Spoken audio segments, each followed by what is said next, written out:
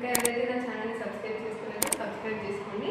And నేను one thirty two నుంచి dinosaurs breeding గురించి ఎక్స్ప్లెయిన్ చేస్తాను. కోకోనట్లో ఇంపార్టెంట్ పేస్ట్ పక్కా క్వశ్చన్ వస్తుంది. ఇప్పుడు ఎవరైతే ప్రిపేర్ అవుతున్నారో సెకండ్ సెమ్లో వాళ్ళకి పక్కా ఈ క్వశ్చన్ ఫైనల్లో వచ్చే అవకాశం ఉంది.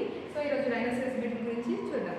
So rhinoceros beetle scientific name Oryctes rhinoceros and దాని ఆర్డర్ వచ్చేసి పోలియోప్టెరా okay so first of all దాని మార్క్స్ ఆఫ్ ఐడెంటిఫికేషన్స్ చూస్తే మనం మార్క్స్ ఆఫ్ ఐడెంటిఫికేషన్లో డిస్కస్ చేయాల్సిన థింగ్స్ ఏంటి? అడల్ట్ ఎలా ఉంటుంది? అండ్ దాని యొక్క గ్రబ్ సో ఇది మనకి ఆర్డర్ పోలియోప్టెరా కాబట్టి దాని యొక్క ఇమేజ్ చేసి మనం ఏమంటాం? గ్రబ్ అని అంటాం. ఓకే డిప్టర్ అని అయితే అని అంటాం. లెప్టాప్టర్ అని అయితే క్యాటర్పిల్లర్ లాగా అని అంటాం. Okay so that so adult adult ఎట్లా ఉంటుంది అంటే స్టౌట్ ఉంటుంది. స్టౌట్ అంటే చాలా లావు ఉంటుంది. అండ్ షైనింగ్ ఉంటుంది. బ్లాక్ ఏమో ఎబో నుంచి చూస్తే పైన చూస్తే బ్లాక్ కలర్ కనిపిస్తుంది. అండ్ కింది వెంటర్ సైడ్ నుంచి లో ఉండి హెయిర్ ప్రెజెంట్ అయి ఉంటుంది ఓకే హెయిర్ ఉంటుంది అండ్ దెన్ నెక్స్ట్ థింగ్ ఏంటి అంటే దాని యొక్క ఫేస్ పైన నార్మల్గా ఏదైతే ఫేస్ ఉందో దానిపైన ఒక హాల్ లైక్ స్ట్రక్చర్ అనేది ప్రజెంట్ అయి ఉంటుంది. అందుకే దీన్ని మనం ఏమంటాము అని అంటే రైనోసిరస్ బిల్డింగ్ సో మనకి యాక్చువల్గా రైనోసిరస్ ఏదైతే ఉందో దానికి హార్న్ అనేది ప్రజెంట్ అయ్యి ఉంటుంది ఓకే కట్టడం అని అంటాం కదా మనం సో సో దానివల్ల దాన్ని ఏమంటారంటే కాన్ఫిడెంట్ హార్న్ ఉండడం వల్ల మనం దీన్ని రైనోసిరస్ బిడిల్ అని అంటాం ఓకే సో ఏదైతే ఈ సెఫాలిక్ హార్న్ ఉందో అది నార్మల్గా మేల్స్లో పెద్దగా ఉంటుంది. ఫీమేల్స్లో చిన్నగా ఉంటుంది. Okay so then grubs grubs ఎలా ఉంటాయి స్టౌట్ ఫ్లెషీ డర్టీ వైట్ కలర్ది C shaped grubs okay C shaped grubs అనేవి ప్రజెంట్ అయ్యి ఉంటాయి ఓకే సో ఇది డ్రగ్ అండ్ ఇది అడల్ట్ ఇది marks of identification then symptoms of damage వచ్చేసి మెయిన్గా ఎఫెక్ట్ చేసే పార్ట్ ఏంటి అంటే central shoots main shoot spathe spathe అంటే మనకి ఏదైతే ఇలాంటి ఇలాంటి స్ట్రక్చర్ ఉంటుంది దీని నుంచి మనకి ఫ్లవరింగ్ అనేది ఇన్ఫెక్షన్స్ వచ్చే దాని ఒక ఈ స్ట్రక్చర్ మనం అబ్జర్వ్ చేయొచ్చు కోకోనట్ దీన్ని అని అంటాం. సో స్పాత్ పెట్రోల్స్ ఏవైతే ఉన్నాయో మెయిన్గా ఎఫెక్ట్ చేసే పార్ట్స్ ఇవి. సో దానివల్ల మనకి రిజల్టింగ్ వచ్చే ఏంటి అంటే వీ షేప్డ్ క్లిప్పింగ్స్ అనేది observe so V shaped clippings అంటే ఏంటి అంటే ఏదైతే మనకి యాక్చువల్గా హెల్దీ అంటే ఇలా ఉండాలి.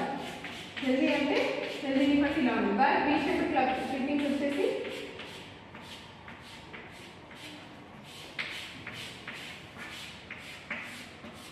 ఇలా ఉంటుంది. ఓకే ఇక్కడ ఒక వీ షేప్లో కటింగ్ అనేది చేస్తుంది. అంటే ఈ కంప్లీట్ ఈ లీవ్స్ మొత్తం తినేస్తుంది. దానివల్ల మనకి ఒక వీ షేప్ క్లిప్పింగ్ అనేది కటింగ్స్ అనేది కనిపిస్తాయి సో అది main so normal important bit also V shape clippings in coconut due to which pest అంటే rhinoceros beetle and then infected palms ఏవైతే ఉంటాయో ఈ ఇన్ఫెస్టేషన్ వల్ల నెక్స్ట్ ఫంగల్ రాడ్స్ వచ్చే అవకాశం కూడా ఉంటుంది. ఏదైతే మెయిన్గా ఇది ఎఫెక్ట్ చేసే ప్లేస్ ఉంటుంది కదా సో ఇది ఏం చేస్తుంది? బిడ్డలు తినేస్తుంది. లోపల ఉన్న కంటెంట్ అంతా ఫైబర్ అంతా తినేసి తర్వాత మిగతాదంతా కూడా బయటికి అది ఉమ్మేస్తుంది సో మనకి మెయిన్ ఎక్కడైతే అది ఎఫెక్ట్ చేసిన ప్లేస్ ఉందో ఆ ప్లేస్లో ఫైబర్ ఫైబరస్ వేస్ట్ ఏదైతే ఉందో మనం అబ్జర్వ్ చేయొచ్చు. ఓకే సో దానివల్ల ఆ ఎంట్రీ నుంచి వేరే రాడ్స్ కూడా వచ్చి కంప్లీట్గా ఫంగల్ ఇన్ఫెక్షన్ కూడా అయ్యేలాగా ఛాన్సెస్ ఉంటాయి. అండ్ ఇది more serious in young trees నార్మల్గా ఏదైతే యంగ్ పామ్ ట్రీస్ ఉంటాయో వాటిలో ఎక్కువ వస్తుంది ఓల్డ్ ట్రీస్ కంటే కూడా ఎక్కువ ఎఫెక్ట్ చేసే ట్రీస్ ఏంటంటే యంగ్ ట్రీస్ సో మీకు మార్క్స్ ఆఫ్ ఐడెంటిఫికేషన్ అడల్ట్ గురించి చెప్పాను గ్రబ్ గురించి చెప్పాను. నెక్స్ట్ సిమ్టమ్స్ ఆఫ్ డ్యామేజ్ అంటే గుర్తుపెట్టుకోవాల్సిన మెయిన్ థింగ్ ఏంటంటే V shaped clippings so next management so management మనం ఏం చేసుకోవాలి? ఫస్ట్ ఆఫ్ ఆల్ దేనికైనా మేనేజ్ చేసుకునేది ఏంటి అంటే ఎఫెక్ట్ అయినటువంటి ఇన్ఫెక్టెడ్ డెబ్రీస్ ప్లాన్స్ ఏమున్నా కూడా వాటిని రిమూవ్ చేసుకోవాలి. ఎక్కడైతే దాని యొక్క బ్రీడింగ్ ప్లేసెస్ ఉంటాయో అది మల్టిప్లికేషన్ అయ్యే ప్లేసెస్ ఉంటాయో ఆ ప్లేసెస్ని మనం ఎప్పుడు చెక్ చేస్తూ ఉండాలి. అండ్ పీరియాడికల్ ఎగ్జామినేషన్తో పాటు అక్కడ destruction of eggs grubs pupae కూడా మనం డిస్ట్రక్ట్ చేయాలి.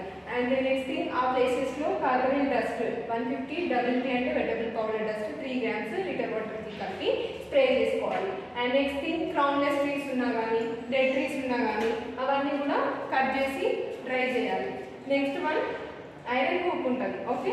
ఐరన్ హుక్తోని ఎక్స్ట్రాక్ట్ చేయాలి. బిటీస్ సో ఎక్స్ట్రాక్షన్ ఆఫ్ ఏవైతే బిజినెస్ ఉన్నాయో వాటి గ్రబ్స్ని మనం ఐరన్ హుక్తోని ఎక్స్ట్రాక్ట్ చేయాలి. మనకి ఐరన్ హుక్స్ బయట దొరుకుతాయి. సో దాంట్లో ఎక్స్ట్రాక్ట్ చేసుకోవాలి ఎక్స్ట్రాక్ట్ చేసుకున్న తర్వాత ఎక్కడైతే అది హోల్ చేస్తుందో ఆ హోల్ మనం శాండ్ వీట్ లిండెన్ డస్ట్ ఏదైతే ఉందో ఆ రెండు కూడా మిక్స్ చేసి శాండ్ శాండ్ శాండ్ వీట్ కాదు శాండ్ ప్లస్ లిండెన్ రెండింటిని కూడా మిక్స్ చేసి హోల్స్ని కవర్ చేసి చేయాలి క్లోజ్ చేసి then green mustard fungi okay మెటాలైజన్ and దీన్ని యూజ్ చేయాలి next నెమటోడ్స్కి related DD one thirty six అనేది ఒకటి ఉంటుంది. ఓకే దాంతో కలిసిన ఒక బ్యాక్టీరియా ఏదైతే ఉందో దీన్నే నియోప్లెక్టేనా కార్బో క్యాప్స్ అని అనొచ్చు. డిడి వన్ థర్టీ సిక్స్ అన్నా కూడా నియో ఆప్లెక్ట్ అయినా కార్బో క్యాప్స్ అన్నా రెండు ఒకటే. ఓకే సో అది దాంతో పాటు యాక్రోమోబాక్టర్ నెమాటోఫిడస్ అనే ఒక బ్యాక్టీరియా ఉంటుంది రెండు అసోసియేషన్ యూజ్ చేస్తే కూడా మనకి రైనోసిరస్ మనం కంట్రోల్ చేయొచ్చు అదేవిధంగా బ్యాక్లో వైరస్ ఇన్ఫెక్టెడ్ అడల్ట్స్ ఏవైతే ఉంటాయో వాటిని రిలీజ్ చేయాలి. సో దానివల్ల కూడా మనం కంట్రోల్ చేయొచ్చు. సో మనకి ప్రతి మేనేజ్మెంట్లో కూడా మనం నేర్చుకోవాల్సిన థింగ్ ఏంటి అంటే ఫస్ట్ ఆఫ్ ఆల్ మనం డైరెక్ట్ కెమికల్స్ని సజెస్ట్ చేయకూడదు. మెయిన్గా మనకి ఇంపార్టెంట్ పాయింట్స్ ఏంటి? ఫస్ట్ డిస్ట్రాక్ట్ చేయడం కానీ ఆ తర్వాత నెక్స్ట్ థింగ్ వచ్చేసి దానికి సంబంధించిన ఫిజికల్ లైక్ డీప్ ప్లాగింగ్ చేయడము సమ్మర్ ప్లాగింగ్ చేయడము నెక్స్ట్ వచ్చేసి biological like uh, green mustard and fungus so so దీంట్లో ఒక ఫంగస్ ఉంది ఒక వైరస్ ఉంది ఒక నెమటోడ్ యూజ్ చేస్తున్నాము. హిస్టోరెలస్ బీటిన్ అని ఒకటి ఉంటుంది. సో అట్లా మనం different types of biological parasites use చేయాలి. అప్పటికి కూడా కంట్రోల్ అవ్వకపోతే లైక్ మెకానికల్ కంట్రోల్ ఐరన్ టూబ్ని యూజ్ చేయడం అదొక mechanical control method so crownless రెగ్యులేటరీస్ ఇది ఒక ఫిజికల్ మెథడ్ ఓకే ఇది రిమూవ్ చేయడం సారీ కల్చరల్ మెథడ్ ఓకే ఆ తర్వాత కార్బన్ వన్ ఫిఫ్టీ అనేది ఒక కెమికల్ మెథడ్ సో మనం ఏదైతే మేనేజ్మెంట్ ఉందో రాసేటప్పుడు మీరు గుర్తుపెట్టుకోవాల్సిన థింగ్స్ దాంట్లో మనకి కల్చరల్ కవర్ కావాలి ఫిజికల్ కవర్ కావాలి మెకానికల్ మెథడ్స్ ఏమన్నా కవర్ కావాలి. సో డిఫరెంట్ ఆల్ మెథడ్స్ మనం కంబైన్డ్గా యూజ్ చేయాలి. సో అది మేనేజ్మెంట్ ఓకే అర్థమైందా? సో ఇవాళ మీకు నేను రైనోసిరస్ బీటీ యొక్క scientific name family marks of identification as well as symptoms of damage management explain చేశాను. సో మీకు ఈ వీడియో అర్థమైందని అనుకుంటున్నాను. మీకు ఏదైనా డౌట్స్ ఉంటే కామెంట్ బాక్స్లో కామెంట్ చేయండి. ఈ వీడియో కనుక మీకు నచ్చినట్లయితే లైక్ చేయండి షేర్ చేయండి సబ్స్క్రైబ్ చేసుకోండి. Thank you for watching